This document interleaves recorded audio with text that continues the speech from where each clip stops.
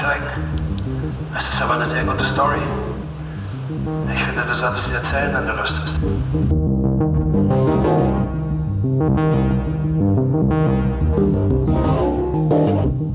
Kann man politisch erfolgreich sein und dennoch man selbst bleiben?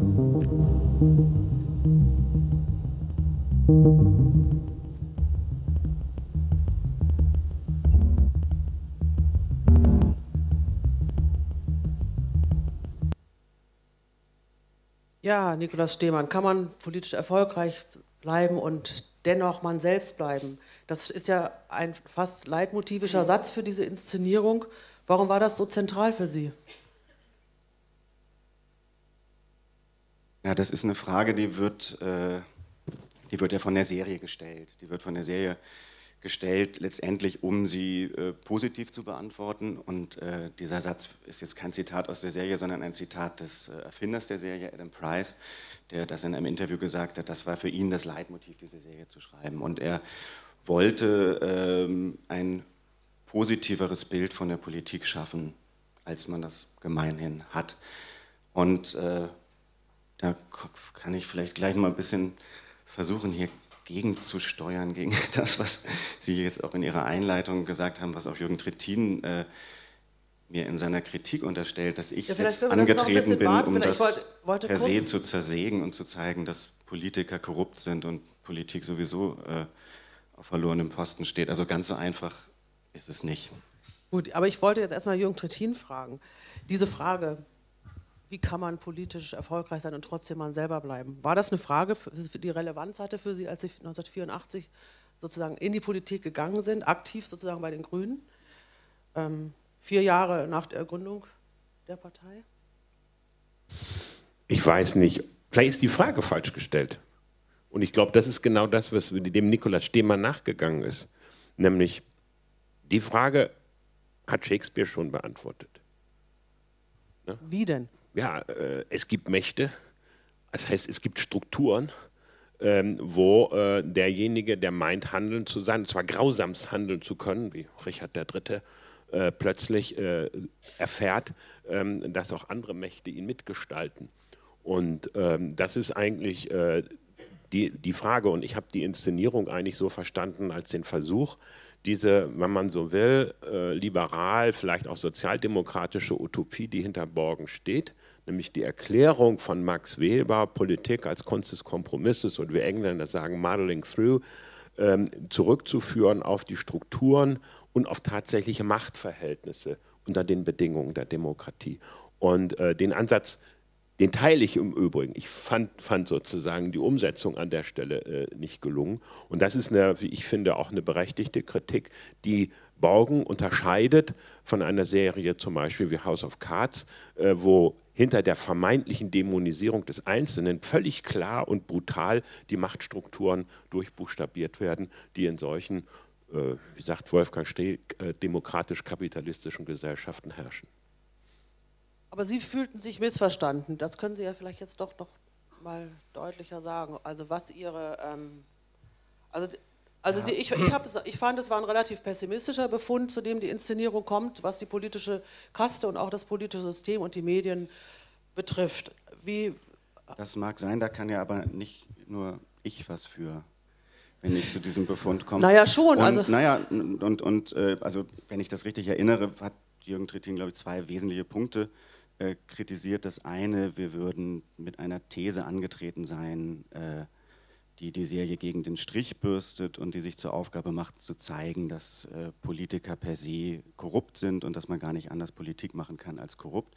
Und das Zweite, äh, dass er das äh, dann über die dreieinhalb Stunden ermüdend fand. Wobei mich der letzte Punkt sehr viel mehr trifft, weil ich will ja keine Leute ermüden. Und da aber vielleicht sich die Frage auch stellt, woher kommt die Ermüdung? Vielleicht geht man auch schon ein bisschen ermüdet da rein. Ich weiß nicht, ich habe auch gehört, Sie haben auch über Teile, glaube ich, äh, ist ja auch mal eingeschlafen zwischendrin. Aber das, äh, das, das trifft mich sehr viel härter, weil ich natürlich jetzt nicht ermüden will. Und ich glaube aber, habe ein bisschen den Verdacht, ähm, dass die Ermüdung daher kommt, dass äh, Trittin selber bereits mit einer These über diese Inszenierung da reingegangen ist, die er relativ schnell verfertigt hat. Das ist was, was oft passiert, glaube ich, im Theater. Man dimmt die Sachen runter auf die einfache Aussage, auf den einfachen Slogan Und äh, wenn man den dann meint, verstanden zu haben nach ungefähr siebeneinhalb Minuten, dann fragt man sich, warum geht denn das jetzt noch über zwei Stunden weiter und kriegt nicht mit, dass tatsächlich mit dieser These was passiert, beziehungsweise dass es gar nicht jetzt nur um diese These geht. Und da finde ich immer die Vorstellung, ähm, ja, weiß ich nicht, fast naiv oder rührend. Man würde jetzt als Theatermensch äh, sich so einen Gegenstand nehmen wie so eine große Fernsehserie, 30 Stunden Material, um zu sagen, äh, von vornherein, die zerkloppe ich jetzt mal um meine einfache Aussage, die dann auch noch so pauschal ist, äh, Politiker sind einfach korrupt, äh, rüberzubringen. Also dafür bräuchte ja, ich mir nicht die Mühe zu machen, war das denn so, Gegenstand War das denn so, dass Sie schon vorher wussten, wie Sie es finden? Nein, ich bin eigentlich mit einem sehr positiven Grundgefühl reingegangen. Ich war auch richtig ausgeschlafen an dem Abend. Ähm, und, ähm, und zwar aus zwei Gründen. Erstens, ich fand sozusagen diese äh, Soap, das ist eine Polit-Soap, nichts anderes, ähm, eine nette Abendunterhaltung und äh, mit einer äh, im Kern demokratischen Botschaft, aber jetzt nicht besonders tiefgehend.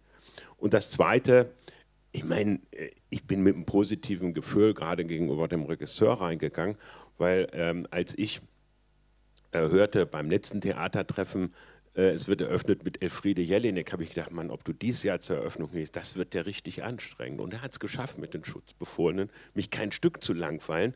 Äh, und insofern bin ich mit einer ganz anderen Grundhaltung reingegangen. Ich bin an einer Stelle befangen, und das will ich deutlich sagen. Ähm, was ich nicht abkann, ähm, ist die Rede von die Politik. Ich mag auch die Rede nicht von die Presse oder die Wirtschaft oder das Theater das ist mir alles viel zu simpel. Wenn das stimmen würde, was äh, diese Deppen, die gestern wieder mit der Reichsflagge hier vom Bahnhof in Berlin gestanden haben und Merkel muss weg skandiert haben, äh, wenn das stimmt, was die Politik angeht, was hilft dann gegen die? Ja, eine andere Politik. Und deswegen ist eigentlich die Frage, äh, auf die man sich oder auf die in dieser De- und Rekonstruktion von Borgen fand ich man sich nicht vollständig eingelassen hat, die Frage, wie kriege ich äh, oder gibt es eine Chance für eine andere Politik oder gibt es Strukturen und Mächte, die systematisch verhindern, dass eine andere Politik sich durchsetzt? Das ist die spannende Frage.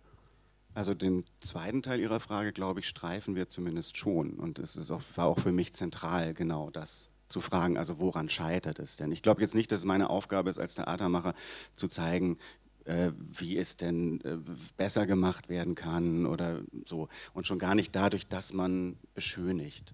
Ähm, ich sage nur noch mal ganz kurz, woher mein Interesse an der Serie kam. Das kam nicht daher, dass ich dachte, äh, ich finde das so blöd, dass sie ein positives Bild zeigen, sondern ich fand tatsächlich die Probleme, die angesprochen werden, die Themen, die angesprochen werden in dieser Serie, auch die Art und Weise, wie sie angesprochen werden, total interessant. So. Und dann äh, ist das erste Punkt wirklich ein großes Interesse. Der zweite Punkt des Interesses ist, äh, wie kriegt man das äh, formal aufs Theater übertragen und was passiert dann damit? Und wie kriegt man darüber vielleicht was raus, über unsere Wirklichkeit und auch über unsere politische Wirklichkeit. Das weiß ich aber vorher nicht und das will ich auch vorher nicht wissen. So, wenn man dann drei Tage vor der Premiere ein Interview gibt, wo äh, dann auch mal der Satz fällt, ich misstraue dieser positiven Figur der Brigitte Nyborg schon ein bisschen und daraus wird dann eine große Überschrift, Stehmann Doppelpunkt, ich äh, misstraue der Nyborg und das wird dann zum Aufhänger für einen Großteil der Kritik, unter anderem der von Jürgen Trittin, auch so ein bisschen von Ihnen, habe ich den Eindruck, dann ist das fast ein Kollateralschaden. Also ich gehe, glaube ich, mit sehr viel weniger äh, a priori Wissen da rein, sondern ich bin interessiert, das Ganze in einen Prozess zu bringen. Und da in diesem Prozess passiert dann was Interessantes, nämlich darüber, dass man das ernst nimmt, diesen Gegenstand und was in dieser Serie verhandelt wird, kriegt man raus, ähm, die ganzen Konflikte, die angesprochen werden, die sind schon sehr, sehr hart. Und die Art und Weise, wie das eigentlich im Skript angelegt ist, ist viel pessimistischer, als man beim Gucken der Fernsehserie nachher den Eindruck hat. Wenn man mal tatsächlich guckt, in der dritten Folge, die wir auch zeigen äh, und auch auf, auf, die Bühne übertragen, dieses Finanzgesetz von Brigitte Nyborg, da, äh, das scheitert auf ganzer Linie am Ende dieser Folge. Und es wird trotzdem durch irgendeinen so Move, den sie dann macht, indem sie, äh, sie da gibt es so zwei abtrünnige Abgeordnete und damit sie sich denen nicht beugen muss, macht sie dann einen Deal mit dem konservativen Lager. Es kommt aber aufs Gleiche drauf raus, wie auf das Scheitern dieses Finanzgesetzes. Das Einzige, was sie retten kann, ist die Verdopplung der Entwicklungshilfe, weil das so wenig Geld ist, dass das nicht ins Gesicht, Gewicht fällt. Der Preis dafür ist Erhöhung der Militärausgaben und Sparen bei äh, Arbeit und Sozial und so weiter. Also das ganze Gesetz wird zersägt. Und am Schluss sieht man sie als letzte Einstellung in, im Hinterteil ihres Autos sitzen und von unten gefilmt, wie fürs Manager-Magazin. Und die Botschaft, die das Bild transportiert ist, sie hat ein bisschen was verstanden. Sie hat was verstanden davon, wie man macht äh, oder wie man dieses politische Spiel spielt. Und das wird als was Positives verkauft. Und das ist tatsächlich das, was bei der Serie immer wieder passiert.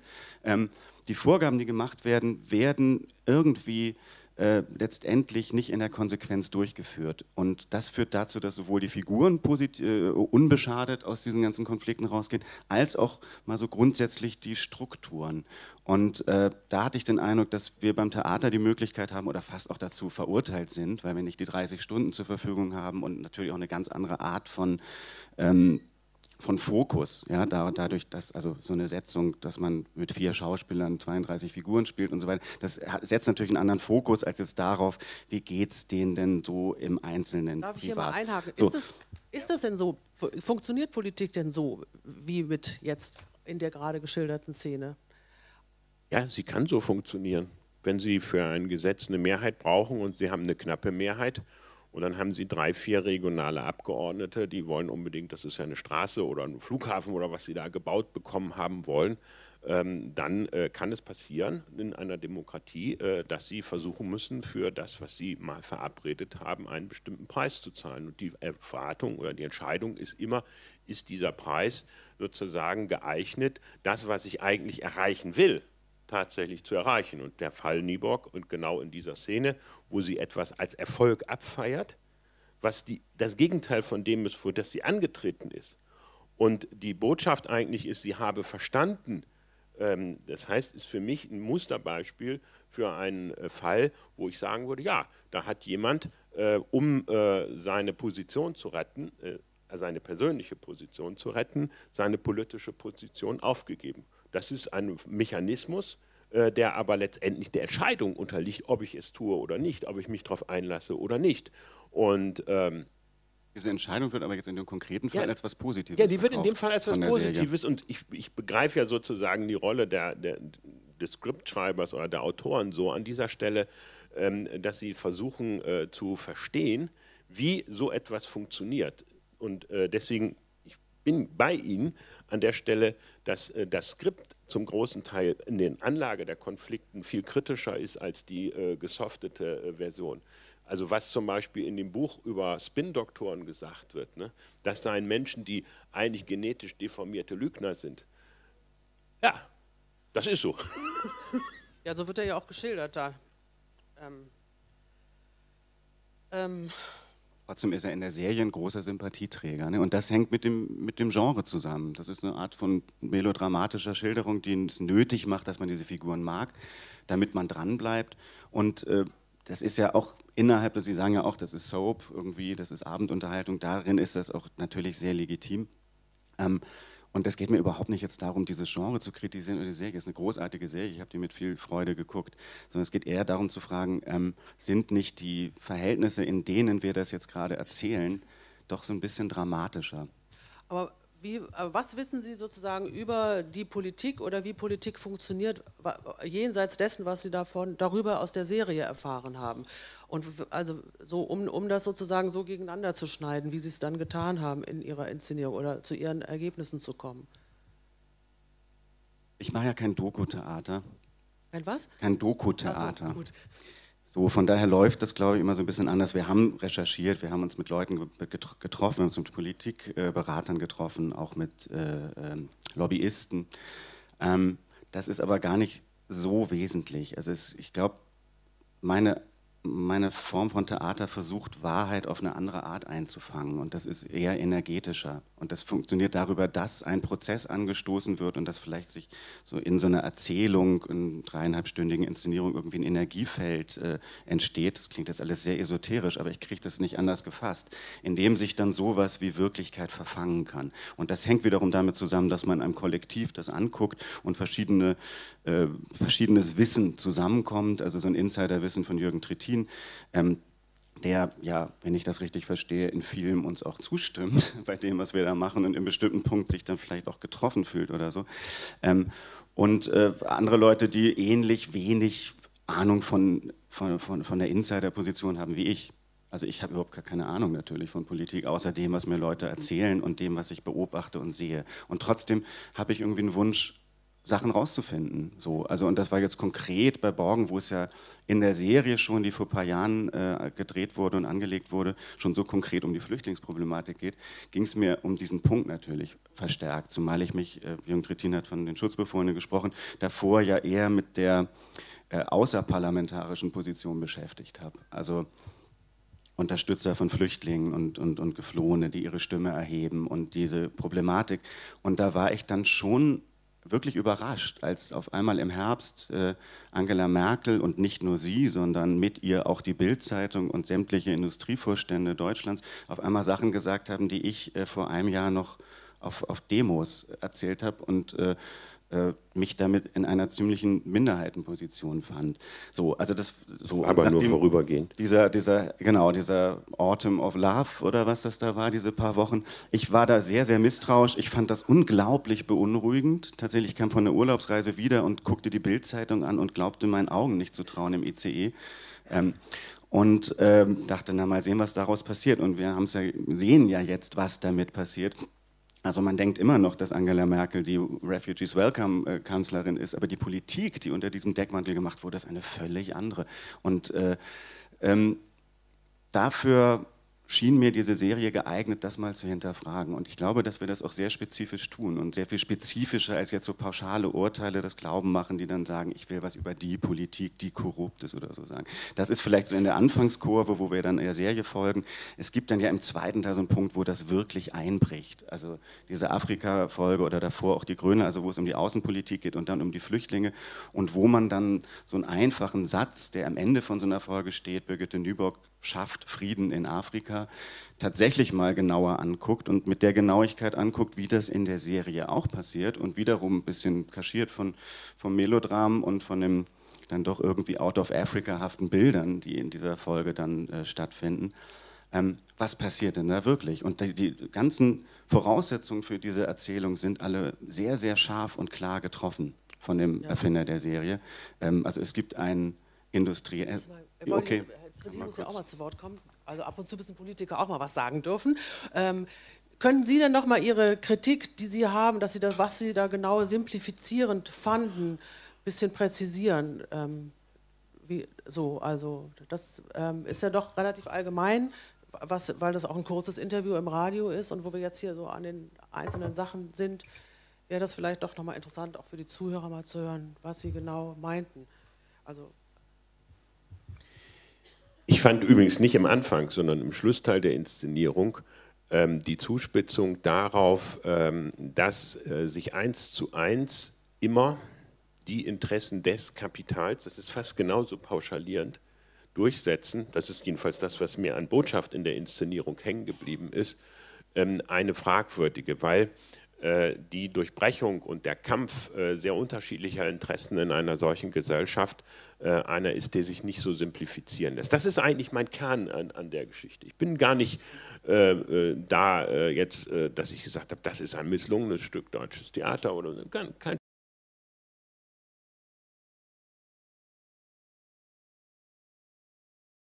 Theater und Politik reden, schon klar haben müssen, dass äh, Theater nicht so funktioniert wie Politik. Und deswegen ist der Maßstab oder dessen der praktizierende Politiker als Theaterkritiker natürlich immer in der Gefahr, ähm, aus seiner Sicht äh, die Dinge zu beschreiben, die Nikolaus Demann ja zu Recht als einen Prozess beschrieben hat.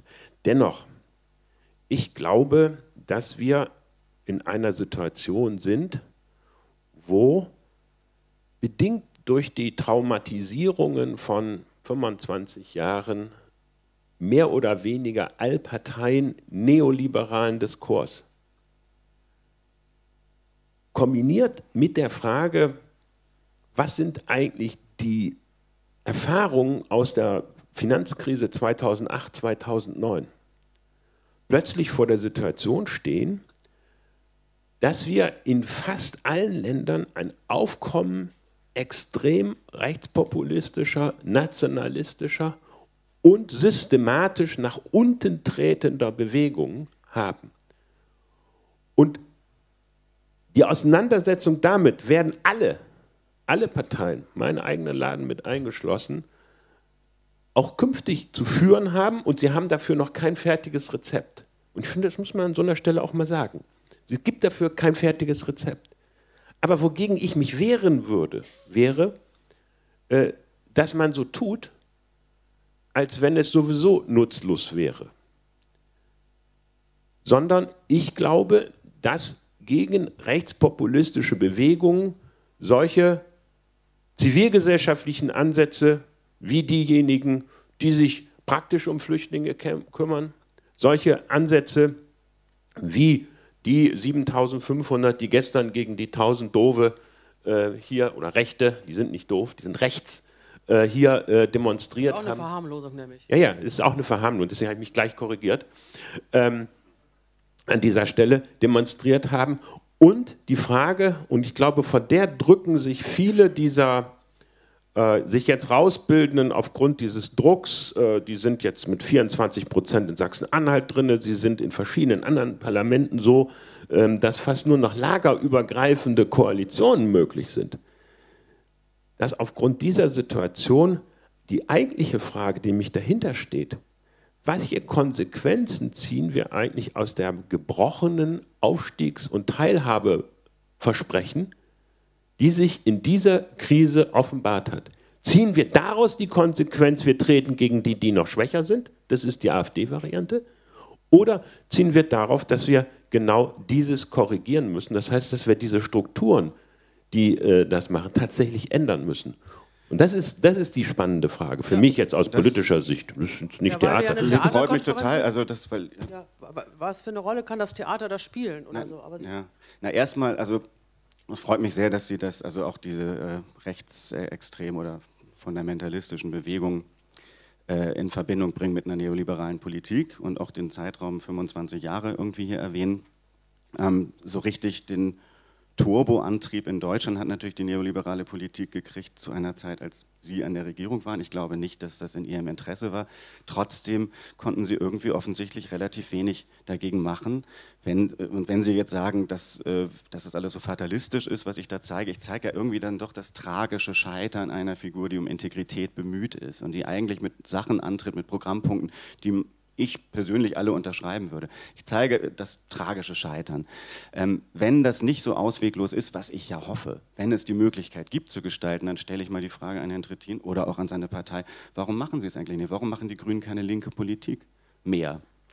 Ja, warum macht sie die... Weil ich, da gebe ich Ihnen völlig recht. Ich glaube, die Antwort auf äh, Rechtsextremismus ähm, ist eine soziale Politik, eine sozialere Politik. Und die ist im Moment nicht zu sehen. Warum, gibt, warum ist das eigentlich unmöglich politisch äh, eine gerechtere Steuergesetzgebung durchziehen. Warum ist es unmöglich, Vermögensteuer, Erbschaftssteuer, diese ganzen Sachen, dass, dass die Besteuerung auf Kapitalerträge äh, so viel niedriger ist als die auf Arbeit? Das sind ja alles mal die äh, politischen ähm, Instrumente, die man hätte, um dieser neoliberalen Politik entgegenzuwirken. Warum passiert das denn eigentlich nicht? Und wenn jetzt wir so eine, Polit äh, so eine CDU in der Regierung haben, die erstmal müssen wir auch mit einer angeblich sozialdemokratischen Partei zusammen und dann aber auch sich massiv ja Richtung äh, der Grünen Grünen, glaube ich, orientiert, indem was sie so machen, auf zukünftige äh, Koalitionen gerichtet. Warum ähm, ist das offensichtlich nicht möglich, das durchzusetzen? Das kann ich mir dann doch nur erklären, dass vielleicht dann doch der einzelne Politiker mit Aber seinen Idealen da nicht erklären, die Möglichkeit hat. Ja, ich stelle ja nur die Frage. Naja, der, ich könnte das fast mit einem Satz beantworten, weil das letzte Mal äh, als meine Partei mit mir, äh, Katrin Göring-Eckardt, als Spitzenkandidatin für ein solches Programm angetreten sind, wir mit 8,5 Prozent nach Hause geschickt worden sind. Das war zwar immer noch das drittbeste Ergebnis in der Geschichte der Grünen, aber ähm, es hat erstmal offenbart, ähm, eine massive äh, äh, Marginalisierung. Und ich will jetzt gar nicht über mein Schicksal oder so an dieser Stelle lamentieren, sondern den Mechanismus beschreiben. Das, was wir damals gemacht haben, war, ähm, dass wir uns angeguckt haben, was braucht man eigentlich für diese Gesellschaft, um mehr Zusammenhalt hinzubekommen. Und so eine Standardantwort, die bis heute in weite Teile selbst der CDU reingilt, ja, man muss dafür sorgen, ähm, dass alle Zugang zu besserer Bildung haben. Das ist ein netter Karlauer, weil wir geben nur einen kleineren Teil des Bruttosozialprodukts für Bildung aus als fast alle anderen entwickelten Gesellschaften. Wir haben uns gesagt, wir, wir investieren mehr in Bildung. Wir haben einen zweiten Punkt, wird Sie als Grüne nicht wundern. Wie kann man eigentlich dauerhaft, nachhaltig, ohne dem permanenten Zwang zu mehr Wachstum zu unterliegen, äh, Wertschöpfung äh, kreieren? Das geht über Investitionen in ökologische äh, Erneuerung, in Energieeinsparung und ähnliches Dinge. Für all das braucht man Geld. Dann haben wir es mal aufgeschrieben, wie, wie finanziert man das solide? Man finanziert das durch den Abbau ökologisch schädlicher Subventionen. Warum muss in Deutschland ein Porsche Cayenne, der hier über die Straße fährt, mit 15.000, 20.000 Euro übers Dienstwagenprivileg finanziert werden? Warum müssen Arbeitseinkommen höher besteuert werden als Kapitaleinkommen? Also all die Fragen, die Sie an dieser Stelle benannt haben. Das Ergebnis ist gewesen, dass am Ende in der Hochphase des Wahlkampfes gesellschaftlich relevante Gruppen, wie zum Beispiel der Vorsitzende des DGB, sich gegen diese falschen Umverteilungspläne der Grünen gestellt haben. Das waren nicht nur die sogenannten Familienunternehmen, hinter denen vielfach Milliardäre stehen. Das sind nicht kleine Mittelständler, wie wir sie uns vorstellen. Die dürfen immer nur vorne äh, bei den Präsidentenämtern stehen. Die Leute, die dahinter stehen, sind superreich, um es mal auf Deutsch zu sagen.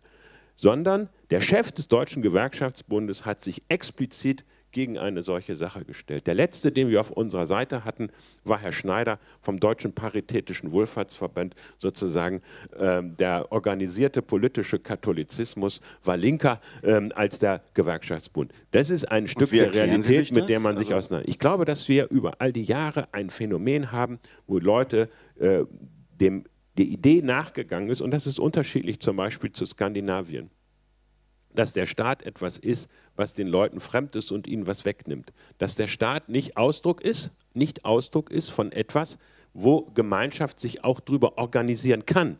Ich sage nicht, dass er das immer tut, sondern dass er sich über Gemeinschaft organisieren kann.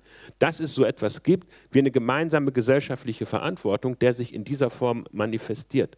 Und dass Gesellschaft etwas zusammengehört, sondern es ist eingerissen in dieser Gesellschaft eine Haltung, übrigens bis weit in unsere eigenen Kreise rein. Ich habe ja die Diskussion dann auch Auge in Auge mit Einzelnen führen dürfen, darüber, dass wenn jeder äh, für sich selber äh, sorgt, für alle gesorgt ist. Und genau das funktioniert nicht mehr. Genau, das, also das ist ja die das neoliberale war keine, nicht Ideologie. Fernsehserie, sondern Politik live sozusagen. Die neoliberale Ideologie, die da ja schon offensichtlich sehr wirksam gegriffen hat, ne? weil es letztendlich ja keine deutsche Tradition ist. Ne? Also es gibt ja gerade in der Nachkriegszeit war das ja, gab es ja viele staatliche Subventionen, Eingriffe, keynesianische Programme und so weiter. Ähm, weil das, also ich halte ich im Moment für den, den wirklich, das, das beunruhigt mich am meisten. Ähm, das, das Wiedererstarken der rechten Kräfte sowieso, aber dass aus dieser prekären sozialen Lage äh, keine linke Politik entsteht. Und zwar auch noch nicht mal bei der Partei, die so heißt. Also jetzt das, die, die Grünen, ähm, das interessanterweise von dem Wahlkampf, das Einzige, was ja hängen geblieben ist, ist, dass sie einen Veggie Day einführen wollten. Darauf wird das dann ja runtergebrochen auf solche irgendwie letztendlich völlig banalen Dinge, ne? wo ich mich dann auch frage, welche wer hat denn eigentlich Interesse daran, diese tatsächlich interessanten Themen so zu vernebeln, dass sie offensichtlich nicht dazu ausreichen, gewählt zu werden? Also beim letzten kann ich Ihnen sagen, das war Kai Diekmann von der Bild. Ganz genau, ganz genau. Der tritt ja mehr oder weniger personifiziert auch auf bei uns in Borgen. Also es gibt auch in der Fernsehserie. Ähm, Da kann man ja mal sehen, solche Leute gibt es wirklich. Das ist jetzt nicht nur pauschalisierte, irgendwie äh, demokratieskeptische Ideologie. Ja, vielleicht können wir mal das Gespräch öffnen und vielleicht haben Sie Fragen an Jürgen Trittin oder Niklas Stehmann. Nutzen Sie die Chance. Seien Sie nicht so schüchtern. Da, Augenblick, da kommt ein Mikro, weil wir. Ich weiß noch nicht richtig, ob ich das als Frage hinkriege, aber bei dem letzten, was Herrn Trittin sagte, da spielte ja eine Rolle, dass es nicht dieses positive Bild vom Staat gibt, sondern dass der oft so, sozusagen sehr leicht als Gegner, der einem was wegnimmt, aufgebaut wird. Und ähm, beim Sehen des Theaterstücks hatte ich oft die Wahrnehmung, dass ähm, das Theaterstück eigentlich erzählt, wie die Fernsehserie es schafft, die Politiker doch mit sehr vielen Sympathien zu belegen. Also immer dieses, dieser Schnitt in ihre privaten äh, Beziehungskisten hinein. Da gibt es ja ganz viele Liebesgeschichten und dass das eigentlich diese emotionale Aufladung schafft und diese Empathie schafft, ähm, die man sonst eben in der Politik vermisst, da nicht reingeben kann. Trotzdem weiß ich nicht, was jetzt die Frage ist. Ich glaube, wenn man über, darüber redet, wie man ein positives Bild von Politik transportieren kann und dann greift man zu diesem Mittel, dann ist das im Rahmen von der Fernsehserie, glaube ich, völlig legitim. Ist aber auch legitim im Rahmen von Theaterstück, das zu hinterfragen und vielleicht auch äh, nochmal daran zu erinnern, dass in den Momenten, wo das in der Politik passiert, so eine Personalisierung und man denkt, oh, der ist ja so toll, der Typ und so, ähm, man natürlich nicht mehr weit entfernt ist vom Populismus und ähm, es, glaube ich, letztendlich nicht allzu sehr zur Wahrheitsfindung beiträgt. Deswegen sind wir jetzt in der Inszenierung mit, dieser, mit diesem persönlichen Ding ja anders umgegangen. Also ich glaube auch nicht, dass wir das äh, denunziert haben, das war auf jeden Fall überhaupt nicht der Ansatz, sondern ungefähr ab dem zweiten Teil gibt es eine Überlagerung. Und das ist für mich, ich habe das jetzt vor einer Woche nochmal geguckt, auch mit bisschen Abstand, ähm, ich fand die Inszenierung sehr, sehr beunruhigend. So, und das ist vielleicht der Unterschied zur Fernsehserie, die erstmal vielleicht eher beruhigt, ja, aber in einer Lage, die vielleicht ähm, nicht allzu viel Grund zur Ruhe oder zur Beruhigung gibt, äh, gibt es vielleicht auch ein bisschen Anlass zur Beunruhigung. Ähm, was im zweiten Teil passiert, dass diese persönlichen Geschichten über die äh, politischen, äh, über die politische Erzählung rübergeblendet wird. Es wird richtig übereinander gelegt und dann passiert auf einmal das, auch durch die Doppelrollen, dass die Schauspielerin, die die Journalistin spielt, die investigative Journalistin, die die Wahrheit rausfindet über diesen Afrika-Deal, nämlich dass der Industrielle die Politik beauftragt, äh, einen Konflikt zu beruhigen, an deren Ursachen er mit beteiligt ist und von deren Ursachen er profitiert, weil er Interesse daran hat, dass die Grenzen offen bleiben und deswegen sollen weniger Flüchtlinge kommen. Und die Politik macht das und kann das als total flüchtlingsfreundliche und friedliebende Politik äh, verkaufen. Ähm, und das Ganze passiert aber dann oder kann nur deshalb stattfinden, weil die Presse, die zum größten Teil diesem Krone, diesem Industriellen gehört, einen Maulkorb kriegt. Das ist alles original in der Serie drin, das vergisst man so ein bisschen, wie gesagt, Out of Africa Bilder und dann äh, wird das so ein bisschen irgendwie verkittet.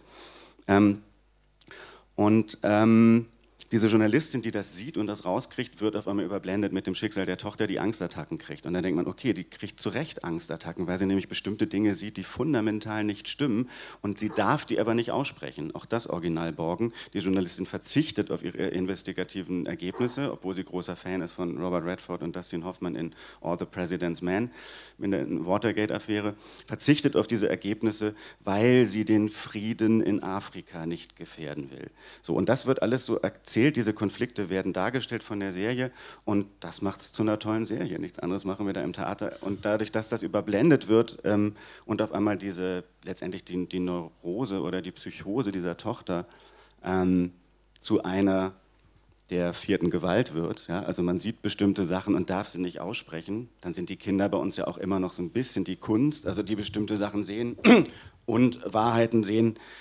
aber sie nicht auf eine Art aussprechen können, dass es irgendwas ja bringt. Ja? Und auch die Voraussetzung dafür, dass sie diese Wahrheiten sehen können, ist, dass sie auf dem Sofa der Eltern sitzen. Ja. Katrin Bettina Müller, ist Ihre Frage beantwortet?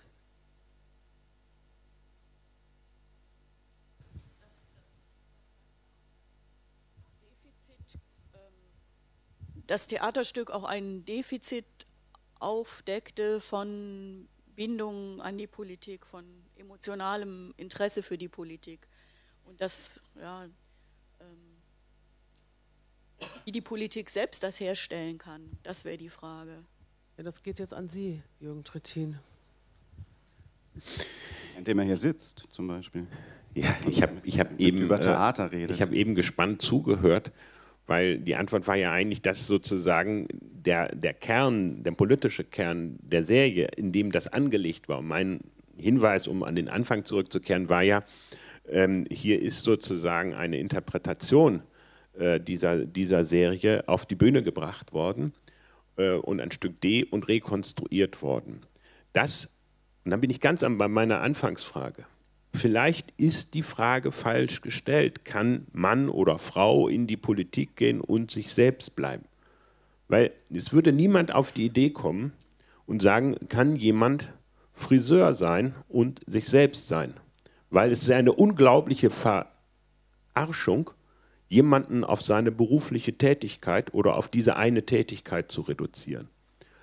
Die Soap funktioniert aber genau darüber dass äh, erzählt wird, wie ein Individuum sich in diesem Fall in der Politik, man könnte auch so eine Serie über Geschäftsleute drehen oder eben auch über Friseur, sozusagen äh, in, der, in, der, Situation vergegenwärtigt. Und das, äh, was unter die Räder kommt, da bin ich ja bei der Interpretation von Nikolaus Lehmann gar nicht so weit entfernt, ist der Gehalt in äh, der Serie angelegt, wie Macht im modernen Kapitalismus funktioniert, mit welchen Instrumenten er sich durchsetzt und dass dieses eben über das Stilmittel der Soap tatsächlich in der Serie zum Teil verloren geht. Die klare Aussage, hier sind den Interessen eines Unternehmens, irgendwelche Rohstoffe rausgezogen hat, schlicht und ergreifend untergeordnet worden und man hat unter der Überschrift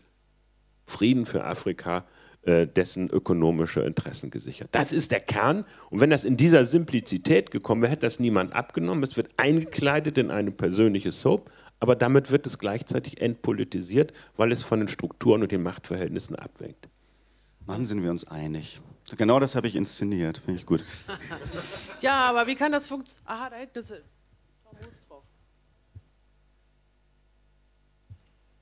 Ähm, ja, Herr Trittin, ich wollte da anschließen, also dass es mir jetzt doch gar nicht so um Identitätsfragen gehen würde, also äh, äh, ob wer, ob jemand, der in die Politik geht, sich selbst treu bleibt. Also ich bin auch froh, dass ich nicht mehr so bin, wie ich mit 18 war. Also so äh, Veränderung kann man noch einem äh, Politiker zugestehen oder ist eigentlich normal. Frage wäre jetzt eher, ähm, was für Anreize oder was für eine Anreizkultur herrscht in der Politik. Also was ich beobachte, ist, dass eigentlich zwei Typen von Politikern gibt. Die einen, die ein bestimmtes Issue haben, äh, was sie durchdrücken, was sie durchsetzen wollen. Das kann ähm, ein Projekt sein, was gut für die Allgemeinheit ist. Das kann ein Projekt sein, äh, was nur für eine bestimmte Interessengruppe äh, gut ist. Ähm, aber äh, das nehmen sie dann äh, an, äh, versuchen das durchzusetzen und nehmen ein Feedback nur dann wahr, nach dem Muster, ist das jetzt gut oder schlecht für mein Issue. Und dann gibt es die anderen, die die Politik sowieso nur als äh, ein Karrierefeld begreifen und äh, sich die Issues danach aussuchen, was jetzt gerade opportun ist und wo man den nächsten Karrieresprung machen kann. Und was ich nicht sehe, ist, äh, dass es noch Politiker gibt, ähm, Ausnahmen mögen die Regel bestätigen, aber ich sehe sie kaum, äh, die den Souverän ernst nehmen. Also die irgendwie einfach nur mal hören, äh, was ist jetzt wichtig für eine Gesamtheit von Gesellschaft und die danach Politik machen. Und da wäre jetzt mir eine Frage, äh, also wie man das auch in Ihrer Partei diskutiert, ob man das überhaupt in Ihrer Partei diskutiert, dass man Anreizkulturen schafft, dass Politiker souverän wieder ernst nehmen. Also Ihre Beschreibung, dass es so eine und solche gibt, ist völlig zutreffend. Und dass Strukturen, äh, die zum Beispiel über dieses Zusammenwirken, ich habe eine Information aus dem Ausschuss, das kriegst du. Dafür habe ich äh, die Meldung oder werde ich in deinem Artikel bei Spiegel Online äh, exklusiv zitiert. Das ist so ein klassischer Fall, äh, wie, wie Mechanismen und Anreizmechanismen funktionieren, sozusagen äh, in Diskretion äh, gegen, gegen Zitieren. Dass solche Strukturen so etwas befördern können, dass Leute, die nur danach gucken, wie sie weiterkommen, etwa sind und dass das in allen Parteien so ist, ist so. Ich würde aber selbst äh, für meine äh, nicht sehr geschätzten Kollegen, jetzt als Kollegen natürlich geschätzt, aber politisch nicht geschätzt, für die CSU sagen, die meisten von diesen CSU-Lern, die angefangen haben, haben angefangen mit einem bestimmten Anliegen, meist in der Kommunalpolitik und mit etwas, was sie verwirklichen wollten. Also das, was sie ISIO genannt haben. Und ähm, deswegen äh, die, ist die Frage der Anreizstrukturen ja, letztendlich müssen die Menschen damit selber klarkommen. Vor einem Punkt würde ich warnen, dass irgendeiner glaubt, er würde die Interessen des Souveräns vertreten. Das ist so antidemokratisch. Das ist nicht so. Niemand geht in eine bestimmte Partei, um eine bestimmte Politik zu machen, weil er die Interessen des Souveräns vertritt. Als ich angefangen habe bei den Grünen, da wollten wir drei Dinge. Wir wollten mehr Gleichberechtigung für Frauen, wir wollten die Nachrüstung verhindern und wir wollten keine Atomkraftwerke. Da haben wir uns nicht eingebildet, dass das die Haltung der Bevölkerung war. Weil ausweislich alle anderen Parteien waren die anderer Meinung. Das mag jetzt, was unsere Energiepolitik angeht, inzwischen weitgehende Überzeugung sein. Aber, wie Sie gesehen haben auf dem Parteitag der AfD, es gibt immer noch Leute, die sind anderer Auffassung. Deswegen in der Demokratie existiert der Wille des Souveräns nur nach dem Ausfechten unterschiedlicher politischer und sonstiger Interesse und sie wird am Ende mit Mehrheit entschieden. Und deswegen glaube ich, dass Parteien gut berufen sind, zu ihren Inhalten zu stehen, zu den Interessen, hinter denen sie stehen und klar zu haben, dass sie damit im Wettbewerb, im Gegensatz, man kann auch sagen, im Kampf, und Demokratie ist nichts anderes als verrechtlicher Kampf deren Interessen, äh, stehen und sich bemühen, die durchzusetzen. Am Ende gibt es ein Scheitern oder man setzt sich durch dann ist das, was man durchgesetzt hat, das macht die Demokratie aus. Vielleicht nicht immer die Reinformeln, die es hat, aber man soll sich nicht einbilden, dass man damit das Interesse des Souveräns repräsentiert hat, sondern man hat die Interessen der politischen Gruppe, für die man steht und die hinter einem stehen, in dieser Gesellschaft hegemonial gemacht. Und damit erst als Ergebnis ist es zum Willen des Souveräns geworden. Das ist Demokratie. Noch eine nächste Frage. Ähm, ich würde das Gespräch gerne nochmal in eine andere Richtung lenken und zwar zur Aufgabe des Theaters. Herr Stehmann hat am Anfang des Gesprächs äh, sinngemäß so einen Satz gesagt wie, ähm, es ist nicht die Aufgabe des Theaters, Lösungen zu zeigen, also, aber da frage ich mich, ist es denn nicht ein bisschen billig, so einen Ansatz zu wählen? Denn ich halte die Gesellschaft schon jetzt für relativ destruktiv. Muss im Theater denn nicht eher ähm, positive Visionen gezeigt werden, anstatt jetzt mit dem Finger auf andere zu zeigen, wie es äh, meiner Meinung nach Journalisten schon zu Genüge tun?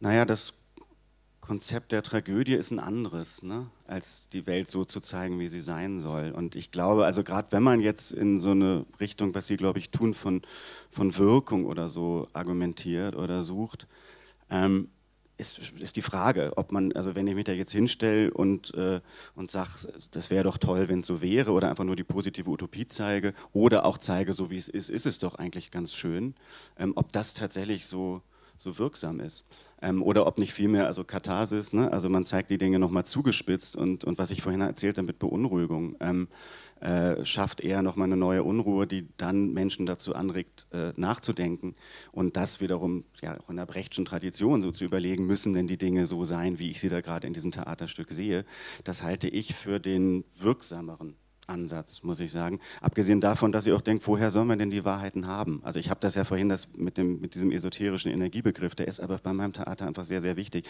weil ich denke, es geht um so viel mehr als um das, was ich mir in meinem kleinen Kopf denke oder was sich jeder Einzelne in seinem kleinen Kopf denkt, was man so für Wahrheit hält. Und da haben wir, glaube ich, im Theater eine ganz andere Chance auf so einer ähm, Art und Weise, die nicht nur in einem Kopf stattfindet, sondern in vielen Köpfen und vielleicht auch in vielen Körpern, ja, über eine sinnliche Erfahrung von bestimmten Diskursen ähm, weiterzukommen, als nur äh, ja, bei dem zu landen, was man sowieso weiß. Sie wollten was antworten, Herr Trittin. Ja, das finde ich, ich bin mehr nur Theaterbesucher.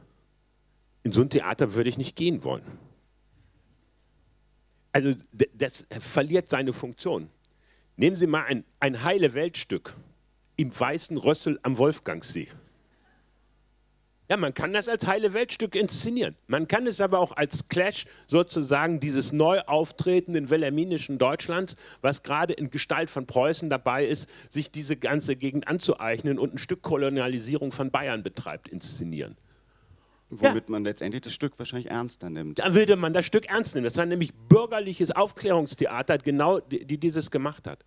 Und äh, nochmal, ich gucke mir ich ärgere mich auch lieber über Theater oder finde etwas dran auszusetzen, ähm, aber ich fühle mich sozusagen intellektuell herausgefordert, ähm, als dass ich irgendwo heile Welt vorgespielt bekomme. Ich will an der Stelle, weil es ja auch Schaubühne war, eine andere Schaubühne-Inszenierung erwähnen. Vier. Falk Richter, bin, der kommt auch noch später. Ja, her. ich war selber ich bin ja nicht im Verdacht, irgendwie der AfD nahezustehen, aber dieser Abend hat auch in der Auseinandersetzung, in der Rekonstruktion der ideologischen Bezüge, nicht nur dessen, was da an familiärer Tradition in derer von Storchs drinne steckte, worüber sie sich zu, aufgeregt hat und das Stück verbieten lassen wollte, sondern auch in diese Einbettung in einen normalen Diskurs mit der Figur der Eva Herrmann, die auf der Bühne da oben rumsteht. Das ist Theater, was verstört, was stört und was zum Nachdenken anregt. Und das ist, glaube ich, der Unterschied dagegen gegen äh, journalistische äh, Schmähkritik oder was, äh, worauf Sie raus wollten. Zum Nachdenken anzuregen und emotional berührt zu sein. Das ist für mich Theater. Ich glaube, ich muss in drei Minuten ja, los. Genau. Ich würde ganz gern eine Frage noch an Jürgen Trittin stellen, weil so oft sitzt man ja auch nicht mit auf dem Podium mit ihm. Ähm, Gerade weil wir geredet, also jetzt ne, irgendwie Politik, Skepsis und so weiter, diese ganzen Sachen, die im Raum sind. Ähm, Sie haben das ursächlich zurückgeführt auf Neoliberalismus oder ne, irgendwie vorher, vor Marsch der neoliberalen Ideologie. Wenn Sie in Ihre Zeit zurückdenken in der Regierung Schröder, ähm, wussten Sie zu dem Zeitpunkt, haben Sie das gemerkt, dass genau das zu dem Zeitpunkt passiert? Haben Sie versucht, da was gegen zu machen oder haben Sie es gar nicht gesehen? Oder wie ist das oder wie denken Sie in diese Zeit zurück, wo man denkt, das ist doch eine der Ursachen? Und äh, viel mehr als jetzt ich mit meinem Theaterstück, ja, eine der Ursachen für Defetismus äh, bin, ist es doch äh, ja, eine Politik, die erstmal unsozial ist. Ich habe dann ja nicht nur sozusagen ein Memorial zu, sondern habe äh, unter anderem äh, dazu ein Buch geschrieben, was der Fehler gewesen ist.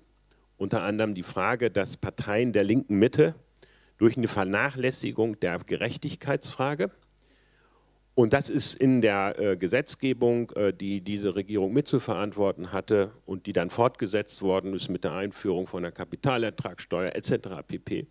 Äh, stattgefunden hat, ihre eigene Mehrheitsfähigkeit untergraben hat. Das hat übrigens die Sozialdemokratie stärker getroffen als die Grünen. Die Sozialdemokratie, die unter Schröder äh, nach äh, der Geschichte noch auf 35 Prozent gelandet ist, ist dann mit der Ansage unter Müntefering, wir machen die Rente mit 67 auf 24 Prozent abgesenkt. Und das ist sozusagen das Niveau, auf der sie heute sind. Und wenn wir uns genau angucken, wie die Entwicklung in den anderen europäischen Ländern ist, so erleben wir die Destruierung der sozialdemokratischen Idee. Und zwar in zwei Richtungen. In der einen Richtung, im Süden Europas hin zu neuen, linken, populären, ich sage bewusst nicht populistischen Bewegungen. Ich halte weder Syriza noch Podemos für populistisch, sondern sehr an Aufklärung und antikorruptiven neuen Bewegungen. Und auf der anderen Seite, in der Mitte und im Osten Europas, die Usurpierung der sozialen Frage durch rechte Nationalisten. Und darauf muss die Antwort gefunden werden. Die kann nur in einer Politik bestehen, die nachdrücklich auf mehr Gerechtigkeit setzt und mit diesem neoliberalen Dogma aufhört zu glauben, über Austerität es reformieren und retten zu können. Würde ich gerne auch, auch auf die Gefahren, dass ich meinen Flug verpasse, kurz nochmal nachhaken. Glauben Sie denn, dass, dass Sie das schaffen? Glauben Sie, dass die Grünen tatsächlich wieder zu einer Partei entwickeln können, die diese Themen besetzt? Weil im Moment ist es ja nicht so. Ich glaube, dass die Grünen deswegen auch weniger davon Schaden genommen haben, weil natürlich die Wählerschaft der Grünen vielleicht auch sozial äh, kohärenter ist. Ja, böse gesagt ist vielleicht die Partei der Besserverdienenden, die dann sich irgendwie um schöne moralische Themen kümmern kann, weil sie sich leisten kann. Deswegen glaube ich, dass es die SPD viel mehr zerrissen hat, diese Form der Politik. Aber ich, wenn ich Sie so rede, ich wünsche mir das ja so. Ich wünsche mir, dass die Linke profitiert und ich wünsche mir, dass die Grünen wieder eine linke Partei werden.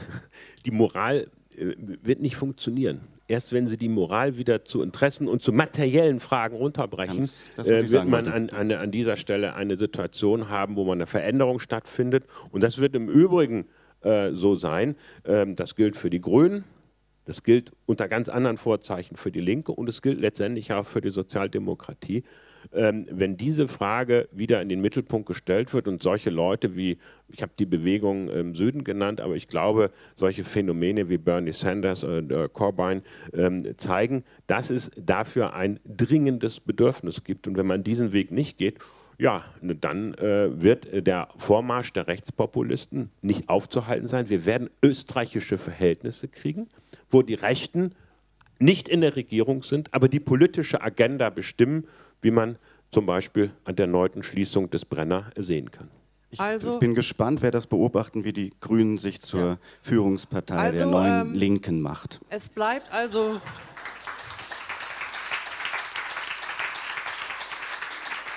Ja, dann danke ich herzlich Nikolaus Stehmann, Jürgen Trittin, und äh, wünsche Ihnen eine weitere spannende Konferenz. Tschüss.